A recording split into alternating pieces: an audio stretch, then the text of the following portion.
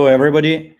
Uh, welcome to the keynote with John Platt. Uh, I'm excited to introduce John. Uh, John is a distinguished scientist at Google Research, and he's leading Google's applied science organization. And one of their focus areas is climate change. John has worked in many scientific fields before, from computer graphics and computational geometry to machine learning to quantum computing, just fascinating background. And uh, John also is one of the authors of the climate change AI paper called Tackling Climate Change with Machine Learning. And uh, for me personally, seeing the paper and John's talks about this topic inside Google a couple years ago was my first experience realizing that maybe as an ML engineer, I have something to offer climate. Uh, I hope that the session will have a similar effect on you too. So today, John will present the lessons he has learned from his work applying AI to different fields of climate mitigation and adaptation at Google. Yeah, uh, enjoy. Uh, on to John, please. Thank you, Gene. Um, so uh, uh, the, the topic of how to AI can fight climate change is a very broad and deep one. So it's impossible to cover everything in 40 minutes. Uh, in fact, the climate change at AI folks uh, have entire day-long conferences about their this where we just scratch the surface.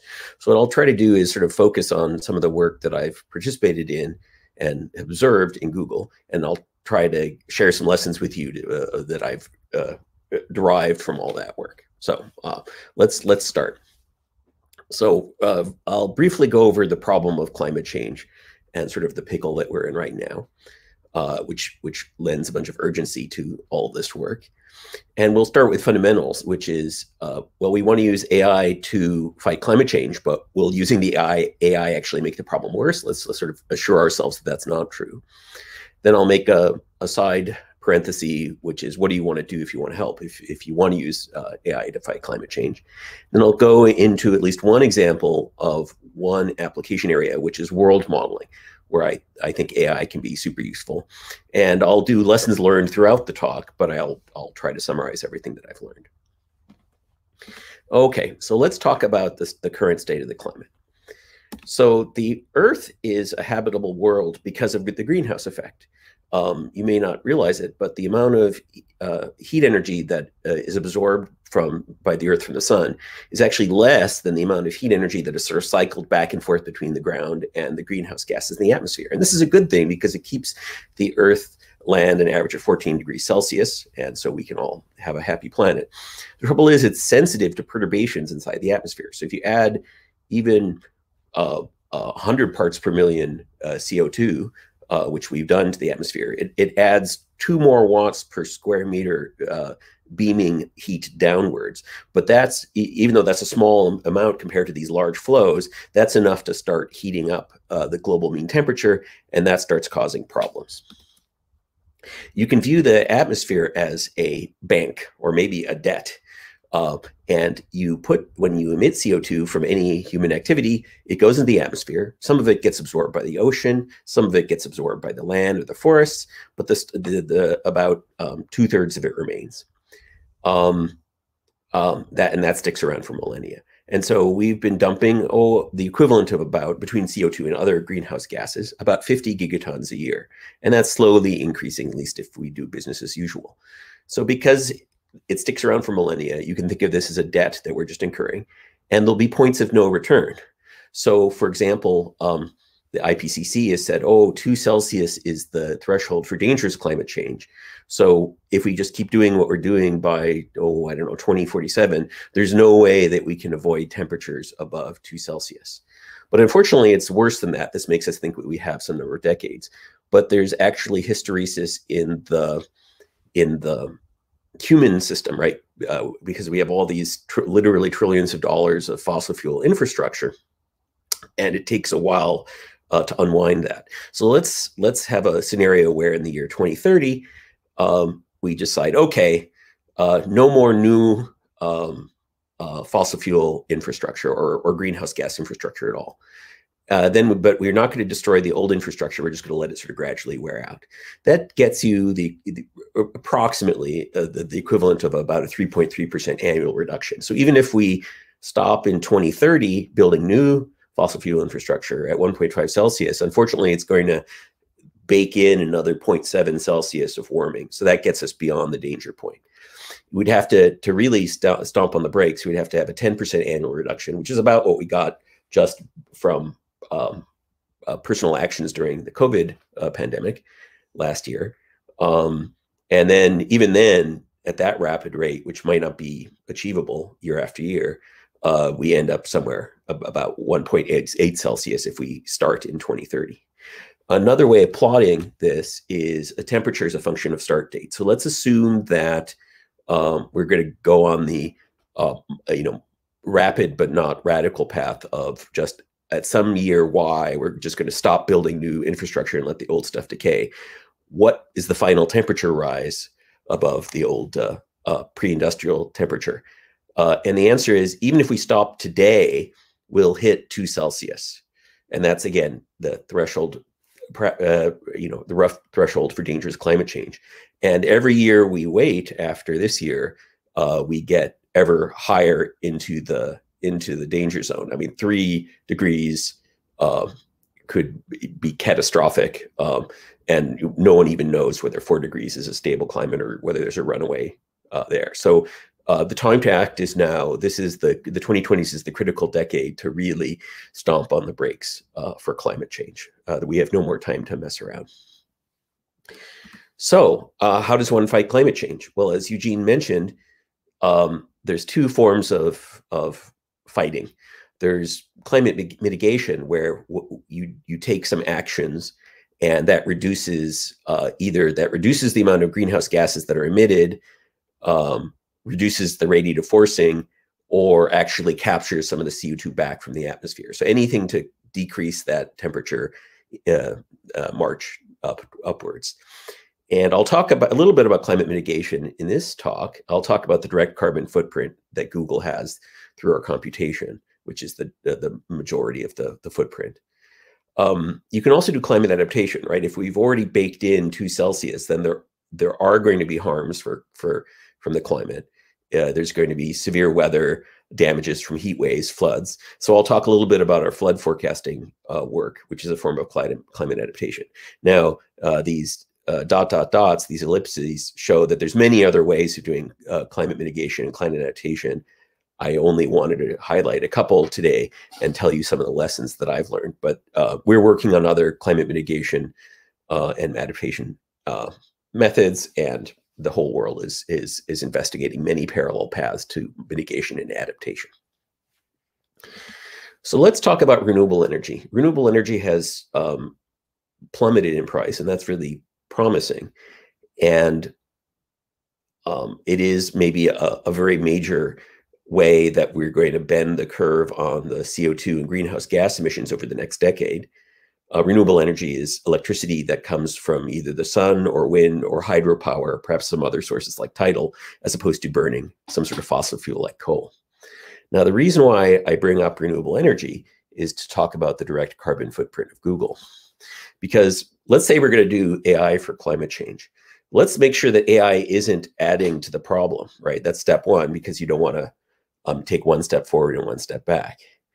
Um, now, uh, data centers use electricity. So when you train a machine learning model in the cloud, uh, uh, you're going to produce some carbon dioxide. How much? Uh, well, I'll, I'll, talk about that in a minute. Um, even if you train it on your own GPU, you uh, um, you uh, generate CO2. you'll see that it's actually better to do it in the cloud. So um, here's the first lesson that I've learned about climate change. climate change boils down to accounting. Uh, you might not think that because you think, well, isn't climate change a, a geophysical uh, property? Well, um, it is, but accounting, this is my snarky definition of accounting. Accounting is the quantified art of assigning costs or perhaps assigning blame. And uh, fixing climate change is going to be an expensive proposition, and that's fine. We should do it because the harms are, worse, are much higher than the costs. But we have to figure out how to assign the costs and to make sure that everyone does their part. So here's one example uh, that's very relevant about why accounting is so important for climate change. Um, electricity shared in the grid. All the, the generators just dump their electricity on the grid and all, all of us consumers consume it. And it's not like there are green electrons or black electrons that are that are segregated on the on the the the grid, it's all mixed together. You, you can't tell renewable electrons from coal electrons. Now, Google buys renewable energy in order to uh, to make sure that all of our all of the energy of our operations is generated by by uh, renewable sources. But that's all mixed together with other people who generate coal elect electricity and consume it. So how do we keep track of our carbon footprint? How do we keep track and know that we're doing a good job, um, uh, you know, being green and and and consuming renewable electricity? So this is an accounting problem. Now here's a cartoon picture of what uh, an electrical grid is like. Um, let's just for simplicity assume that uh, uh we have uh, a company like Google and has a constant demand. Not strictly true, but it's just you know let's just uh, do it to make it easier. So that's that blue line. Demand equals one power unit of, of in some units. Um, um, in order to be, in order to consume renewable power, uh, a large company will engage in something called a PPA, a power purchasing agreement, and will will contract with um, uh, renewable uh, power providers like a, a solar power farm or a wind farm, and they'll give us electricity, but they can't really control when the sun shines or when the wind blows. So they'll give us as much electricity as they can generate, but it might not match the demand. Here's a here's a this orange curve is the typical curve that renewable power might give over a week. And sometimes there's it generates a lot and sometimes it generates not very much. And so when our now of course we're participating in the grid and when our uh, uh, uh, renewable uh, power sources are below what we need, we have to essentially use extra power that are filled in from just other grid sources. Now, when there's too much renewable power right now, uh, that that typically gets used by other people. So uh, because we're all participating in the grid. So how do we measure this? Well, um, back in 2017, there was a nice easy metric that we used. Um, and that was you take the area under the orange curve, which is the total amount of energy uh, generated by the renewable um, power, and then you divide it by the area under the blue curve, which is just the demand. Uh, you assume that any excess gets used by someone else, and they'll and we'll decarbonize them. And so, if on the average your renewable energy is equal to your demand energy, then on the average you're zero carbon and everything is fine. And in fact, that's the situation. That's been the situation at Google since um, uh, 2017. That computation in these data set centers is net zero carbon. Now, of course, that orange curve and that blue curve get averaged over the entire year for this statement and over all uh, of the global locations. So if this is the way you account for it, uh, currently um, Google data centers are net zero carbon. That implies, if you uh, use this metric, that um, uh, when you train an ML or AI model on a Google data center, it's essentially ha has no carbon cost. Now, that's not the best metric in the world. It isn't future proof because what's going to happen into the future is that extra uh, renewable power, everyone's going to try to decarbonize. And so when more and more renewable energy is coming onto the grid, even as we speak, and therefore, there's something called curtailment where people start throwing away the renewable power because too much of it's generated and no one wants to use it. So we can't rely in the future on the fact that, oh, someone is going to pick up this renewable power and it's okay. So we've come up with a new metric called carbon-free energy. And what that is, is um, you you sort of don't count the excess. If the, if we generate, if we buy renewable power and it, it's excess, it doesn't doesn't count for anything. That's the assumption. So it's conservative for all those green dips, you uh, measure the you you measure the uh, carbon intensity. In other words, how many how much carbon dioxide per unit energy the grid produces times the amount of energy we actually use. So that's sort of the CO2 needed to generate that green amount of energy, and you divide it by the demand energy, uh, uh, uh assuming that the orange is completely carbon free, which it is. So this is a much better metric it, uh, for the future uh, because it really reflects uh, the, the, the, the carbon impact of any, um, you know, any activities. And in fact, we have a goal to drive this metric to zero by 2030. So it's going to be tricky, right? That means that uh, either we have to use no grid energy or the grid energy itself has to has to go to zero carbon. So it's tough. Um, so uh, there's an interesting lesson here, which is so this is a better metric. It's more conservative, and in fact, uh, there was a paper by Dave Patterson and a number of other Googlers that uh, took this metric and used it to figure out, uh, oh, how much carbon does it require to uh, train a machine learning model or an AI model? So let's dig into that. You know, that paper's on arXiv and I welcome everyone to read it. But if we dig in, you'll see that uh, let's pick one of the models. It's not one of the, the largest ones, but it's a it's a definitely a large one. It's 130 million parameters. Uh, happens to be a language model.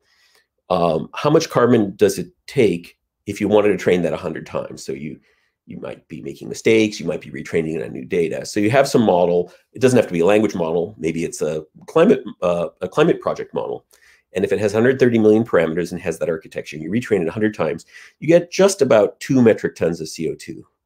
Well, on the scale of things, that's actually pretty small because even a small climate project, uh, which I'll talk about uh, in a minute, or I'll talk about the size in a minute, you, you want to save something like 3,000 metric tons.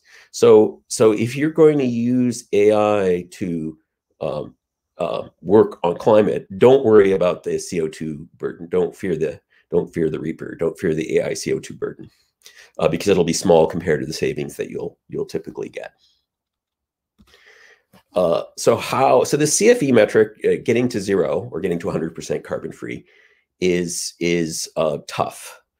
Um, uh, so let me tell you about an interesting project that we've done called Carbon Aware Computing by my colleagues Anna Radovanovic, uh, Ross Koningstein, and many others across many parts of Google, where we're trying to drive that metric to be optimal. So sorry, it should be 100% CFE, but how do you how do you reach how do you reach 100% CFE by 2030? Um, well, you can optimize. Let me explain what I mean. Here is another uh, visualization of CFE. Uh, it's a 2D uh, visualization where uh, the x-axis is day of the year and the y-axis is time of day. So essentially it's 8,760 pixels lined up in columns. Uh, green means that it's great. It's 100% carbon-free energy. Zero uh, means that it's it's still quite carbon um, filled. Uh, this is a plot from our um, data center in Iowa. And Iowa's great because it's in the United States Midwest. And there's plenty of wind power in the in the Midwest of the United States because the wind blows very strongly off the Rockies. But in the late summer, you can see that uh, it kind of, the winds kind of dies down, and so we have to rely on on uh, uh, uh fossil fuel power to power that uh, data center. So what what what can we do if we want to run if we want to run in that data center uh, a do- job, let's say a, a training job? Well, um, imagine that little I don't know if you can see it. This little pink box here is the training job we want to run noon sometime in the late summer in Iowa. And let's say some jobs you can't really do much about. Uh, they're interactive jobs or they're business critical, like you have to answer a search query right away. You can't wait. But one thing you can do if you're training and you don't need it right away is time shift, right? So that's moving this this uh, red box down to this blue box when uh, you know, during the day, maybe the wind is slack, but during the nighttime, maybe the wind picks up, which in fact is true in, in, in Iowa. So if you have a lot of data in Iowa and you want to train a machine learning model, you just wait. And in fact, there's uh, optimization uh, code. It's quite messy because the you can't write down a single optimization function, but there's essentially um, methods to to push uh, uh jobs that can wait to wait until the grid is is more green. So that's one possible thing to do, time shifting. One thing we we announced recently was space shifting. So there we have multiple data centers, right? I mean, you might have a lot of data in Iowa, or maybe your job doesn't require a lot of data. Maybe it's you don't need you don't care where your your your job runs. So you could, and if you want it to be quick, you might want to pick up your job at noon in Iowa and drop it down in North Carolina at that same time and not wait and you can see North Carolina has a funny pattern, maybe because of solar power, where during the middle of the day, uh, it's quite green. Um, but then at nighttime, it slacks off and it requires more, uh, more fossil fuel. So we, you can move your job from someplace that's wind intense to someplace that's solar intense. And that's another thing that we've implemented and that we've in the optimization code and just announced. So that's pretty cool. Um, so um, the lesson I took from that is that load shifting works, right? That that CFE score varies uh, actually 46% over the hours of a day. Even if you can't move your your job, um, um, you can wait until a better time.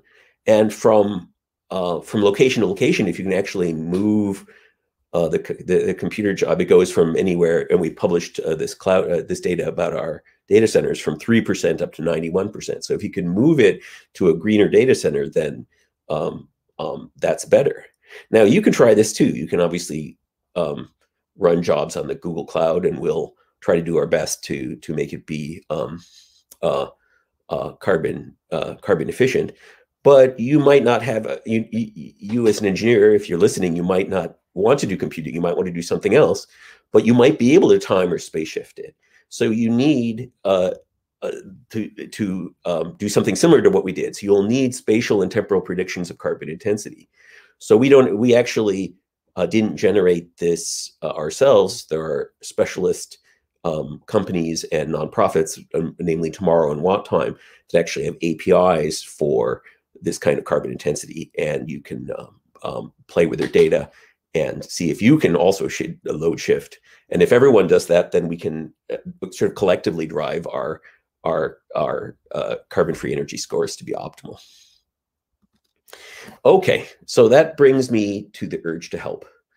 Um, that project from Anna and Ross and all the other folks what did come about because of um, uh, an urge that the the engineers wanted to have make an impact on carbon, and that's a good urge.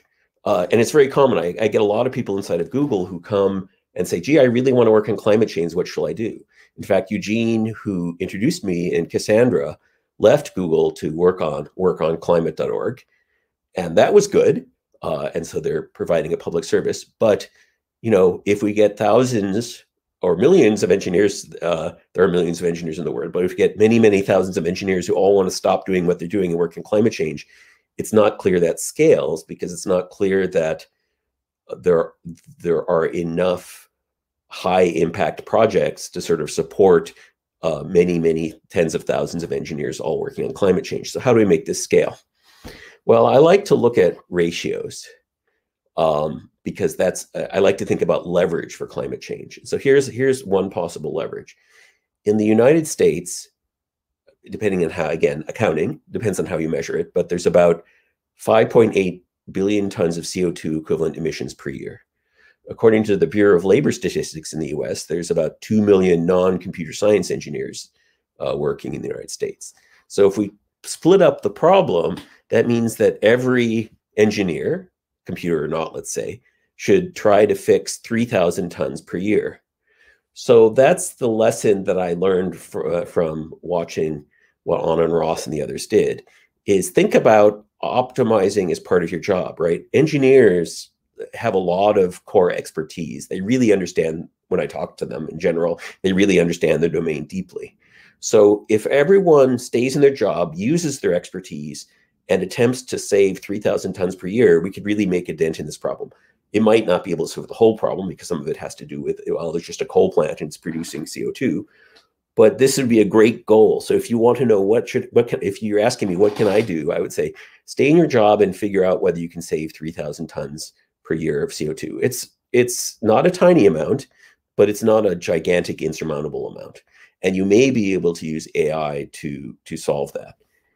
Um, now, where are some resources? In fact, I mentioned work on climate.org. They have a Slack channel and they have access to experts. So you could try to uh, look there to see if there's an interesting, you can learn uh, if there's interesting ways for you to save CO2 as part of your current job.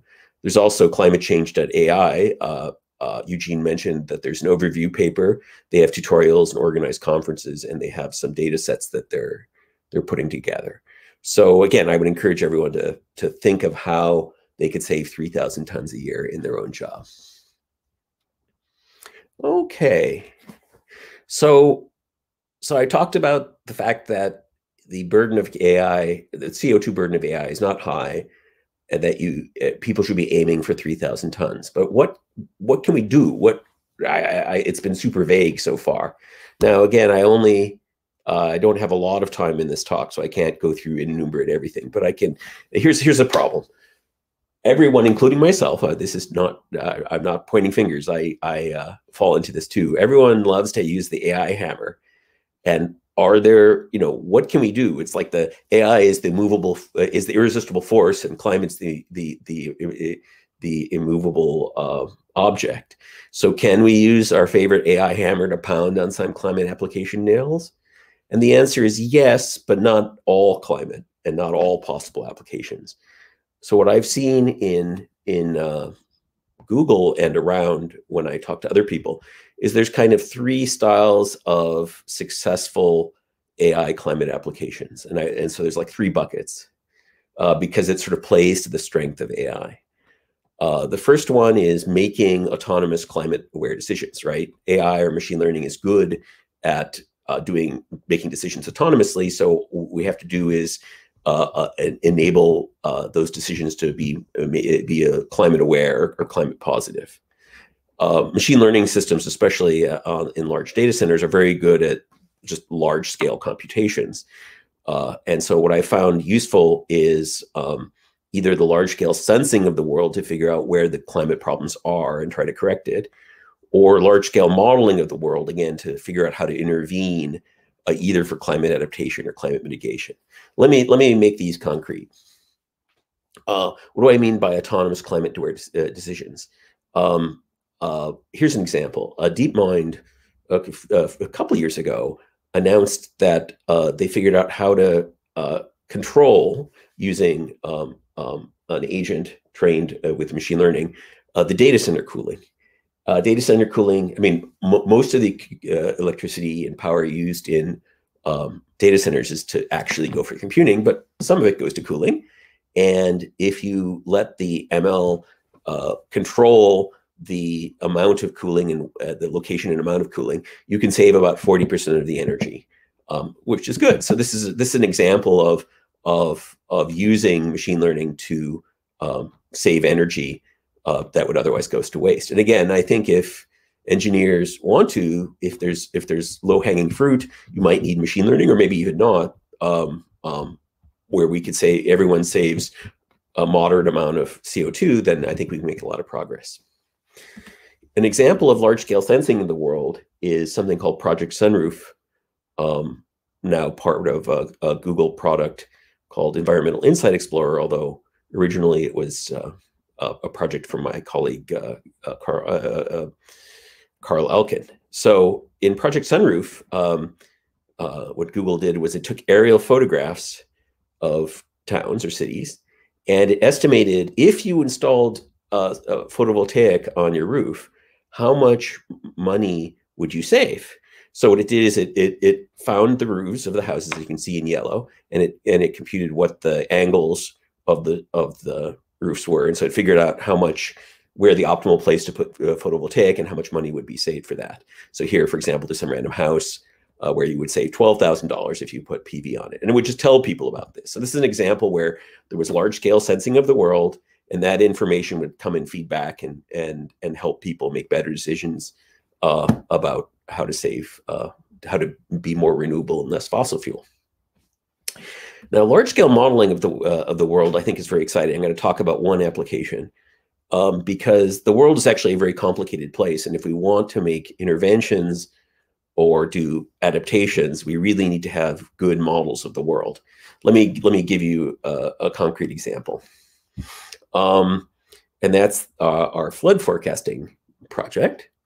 Um, and this is work by uh, our the, the flood forecasting initiative uh, with Sella Nevo and his team.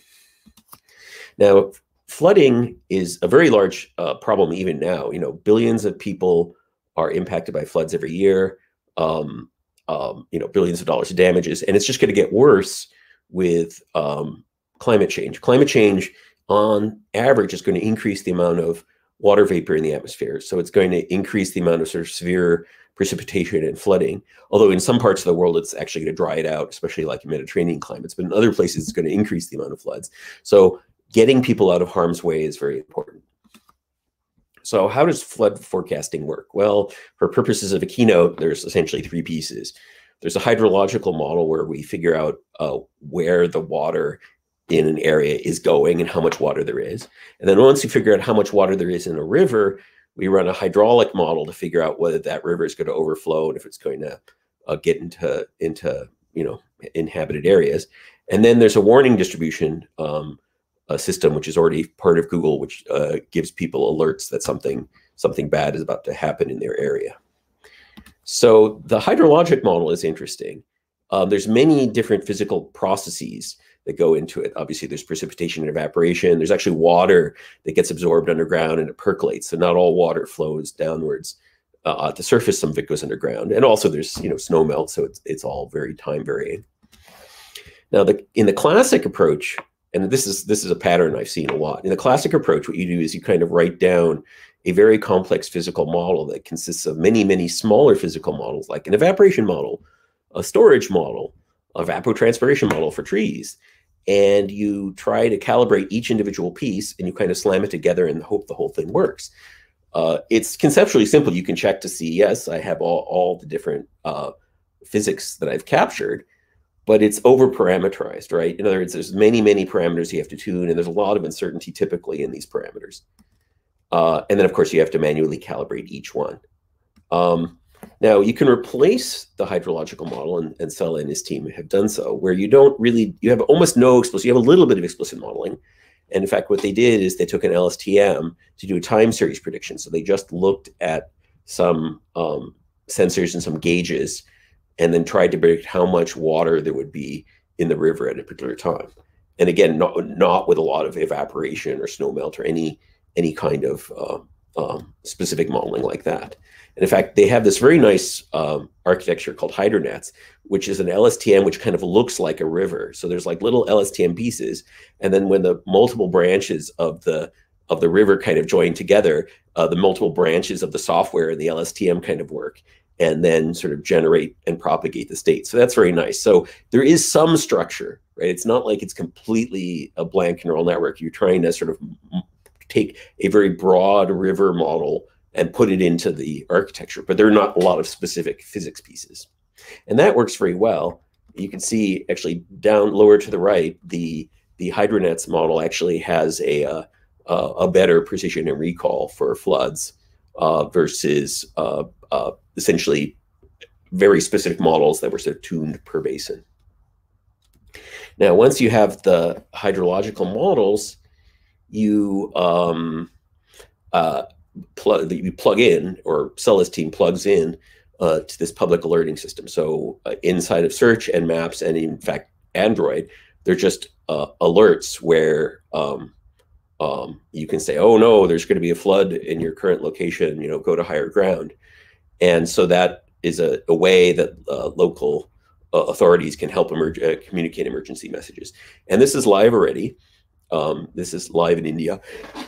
Excuse me. And has triggered on different floods and has helped people avoid getting um, hurt because floods are quite dangerous. Now, what's the lesson here? Uh, this is my last lesson uh, for the day, and that's to replace this in these empirical models with machine learning. These empirical models, um, I've seen, uh, you know, it's not just floods. I've seen them in many different sort of climate-related um, or even energy related uh, engineering fields, where um, a lot of them date back to, say, the 70s. And people put them together, calibrating the individual pieces, maybe on not very much data. And then they became uh, relatively entrenched in the in the um, in the field, and they worked, you know, okay. But um, now we have a lot more data. Uh, we have a lot more compute, and so by gathering much more data, we can have models like HydroNet, which sort of have enough, just enough physics or just enough like the structure of the river without over specifying it. And that tends to be much more accurate than these old sort of empirical granular models from uh, 30 to 50 years ago. So if we're going to work on world models for climate, I think this is actually a trick. So I'll encourage you uh, in your in your job if you see that people are using these kind of old empirical models, if we can replace them with machine learning, we can do a lot better. Now, part of why I like or what I want uh, from a world model is a climate what if. Now I don't have this yet, uh, but um, um, what I want is a, a, a, tool where it says, well, where should we plant trees? Because it turns out planting trees to fix carbon dioxide isn't a uniform climate good. Um, some places it actually, like towards the poles, it actually hurts the climate to plant lots of trees. Should we uh, paint our roofs white? Should we put photovoltaics on it? Should we put, put trees on our roofs? You know, this is this is all an open question. Should we plant kelp? You know, all these interventions. Um, uh, now you can say, can't we just run climate models to do this? What if? Well, here's the problem with today's climate models is they have a huge amount of initial condition noise, right? Climate models are the climate system itself is chaotic, so that um, uh, you know a small perturbation of initial condition leads to two very different states. So you it, you can't just do an alteration uh, of a uh, of a climate model like an initial condition or a boundary condition like a number of trees and then just do a naive uh, uh, uh delta uh, because it, you, you don't know whether that delta was caused by the trees or just by random fluctuations that ended up in a different space. So you have to repeat the the, the running the climate model many times and you have to uh, typically use very very large perturbations. Um, for example Ken Caldeira back in 2009 wrote a paper about trying to figure out the effect of trees. And the only way he could get signal really was to essentially in the model get rid of all the trees north of 50 degrees north or get rid of all the trees in the tropics, just because you need to have huge signal to kind of pull out from the initial condition noise. So I'm hoping that machine learning can actually, um, you know, build these kind of climate what if uh, models and so I, am actually excited about the possibility of doing world modeling for, for many different problems, both for mitigation and, and for adaptation. Okay, well, that brings me to the end of my talk. So let me just review the six lessons learned um, uh, that, that, that I've learned over the last few years at Google. Uh, again and again, climate cha change boils down to accounting. So if you're working on some aspect of climate change, make sure that the metrics are correct because it's very easy to fool yourself or to do the wrong thing unless you carefully design your metrics. Don't worry about the AI CO2 burden. If you're working on climate, the, the gains you'll get from even a small climate change problem will be a lot larger than the, uh, the CO2 you'll need to, to burn in order to uh, um, generate the AI. Load shifting seems to work. It works for Google. Maybe it'll work for you too if you have a, a situation where you can shift things around easily in space or time. And if we all do that, then then we will all be collectively doing what they call demand response and then matching all of our uh, electricity demand to the supply that renewables has. One thing I encourage everyone to do is optimize as part of your job.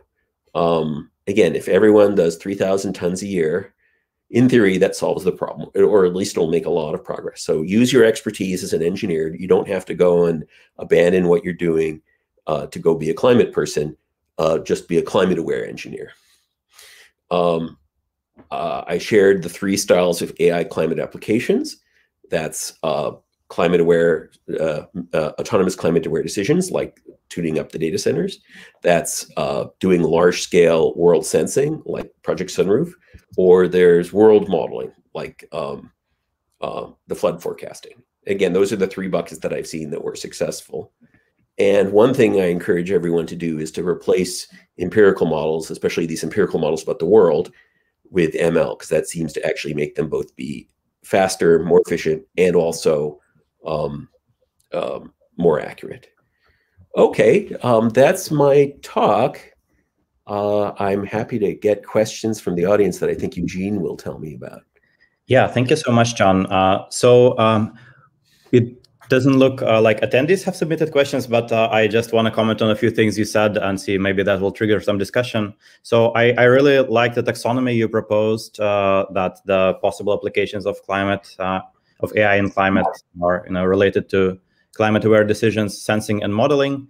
And mm -hmm. uh, this makes a lot of sense for me. So, for example, modeling. Uh, modeling basically is important for any kind of risk assessment, which is critical to be able to protect the assets at risk because protecting everything broadly is infeasible. But once you know where the risk is, suddenly you can protect things. For example, you can insure homes if you know which ones are at risk of wildfires uh, or, or floods. Um, on the other hand, um, you know, um, large-scale sensing is important for uh, measuring emissions and um, for measuring the impact of carbon offset projects, and we have several examples of that in the program. So, for example, we had Climate Trace yesterday, uh, which measures emissions from satellites, and on the other hand, uh, today we have SilviaTerra, which measures forests from satellites, uh, which is you know really important to be able to issue carbon offsets. Um, yeah, by the way, I want to also give a shout out uh, to Google here for being, as far as I know, the world's largest non-government purchaser of carbon offsets. So like uh, that's another way in which a tech company can be a catalyst of the ecosystem. And uh, yeah, the, the other bucket you mentioned was autonomous climate aware decisions. Uh, and I think a lot of the other stuff kind of falls into that. For example, like improving energy efficiency, uh, like uh, Resync does falls into that. You could argue that uh, like robotic recycling that AMP Robotics does, or like predicting demand for groceries uh, like Afresh does kind of falls into this bucket. So yeah, uh, seems to be a really neat taxonomy. So John, I think I wanted to ask you a couple of uh, questions. Uh, so um, one, um, yeah, like how would you advise uh, engineers and ML professionals to choose like whether to join the sort of uh, rapidly growing climate tech ecosystem or whether to try to find a way to do the 3000 tons a year inside their company? Um, so I would say there's a couple of factors that go into that. Um, one is, uh, do they have access to something like 3,000 tons? I think many people do because a lot of, I was just looking at the Bureau of Labor Statistics, many, many engineers uh, work in manufacturing, which obviously moves atoms around and therefore it could be optimized. So if you have access to, to doing a few thousand tons a year, you know, use your expertise and stay. Um, if you have uh, more, if you have more of a, a physics background or um, that, that, or um, um, like energy background, then maybe you go into the climate tech thing. Um, I, I, I would advise. See, the trouble is, in order to be climate tech, in order to be a sustainable business, needs to both find a it's it's complicated, right? Because right now there isn't a global sort of price on carbon, so it's there isn't a giant economic incentive to work on climate tech. You can try to find individual uh, um, specific sectors, maybe that's enough.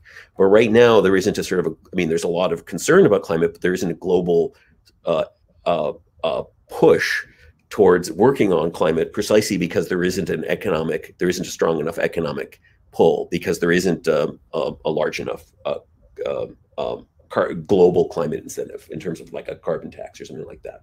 Mm-hmm. Um, so I would say, you know, if you're in, uh, you know, if you have some special expertise uh, for like in chemical engineering or physics or energy, then go and definitely look at uh, climate tech. But if you're a a more generic mechanical engineer or computer scientist and stuff, you might want to stay in your job and try to figure out how to save those 3,000 tons a year. Again, sort of like following your expertise and also how easy it is for, for, for it to, to change in the in the situation you're in. So it's kind of hard. It's kind of hard. I can't make like a global like everyone should rush and do it or no one should do it. It's it, it's kind of it depends on the individual.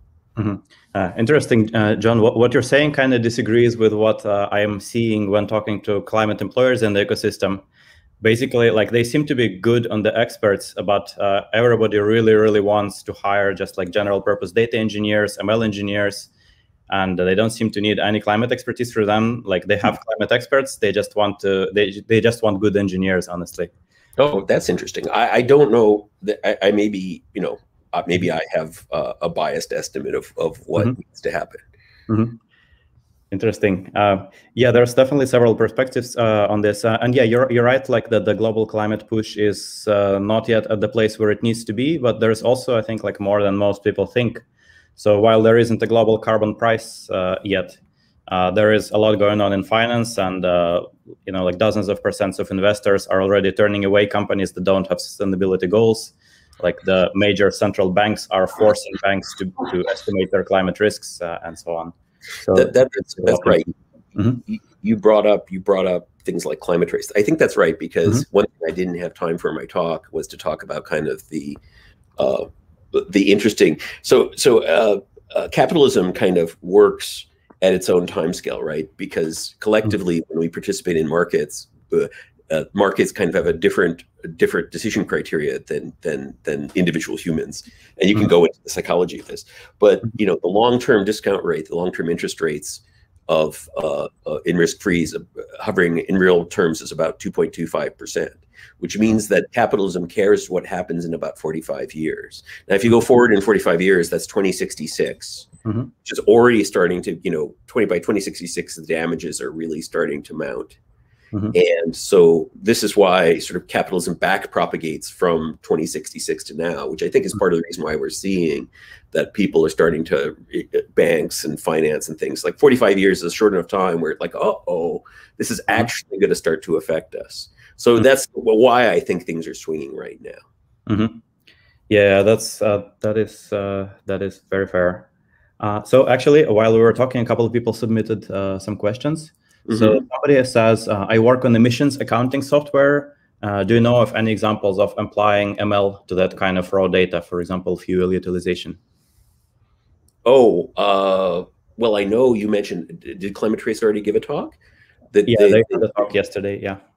I missed. I'm afraid. Uh, yeah, they're already. I mean, uh, they were already using machine learning to kind of uh, with this with a sort of uh, very wide scale sensing to sort of mm-hmm. keep track. So so using machine learning to even just know where the, the the emissions are is really good and and there's a fair amount of machine learning also happening in things like methane methane is super important because it's such a large greenhouse gas and we can turn it mm-hmm. off more easily than co2 so there's a mm-hmm. fair amount of uh, machine learning happening in things like trying to attribute methane back to mm-hmm. back to sources yeah uh, there actually is a talk on the topic by kairos aerospace uh, yes. i think on thursday uh, regarding specifically fuel utilization, uh, today we have tracks uh, which are going to be talking about using AI to, uh, I think, understand emissions from trucks. Uh, so I think that might be related to.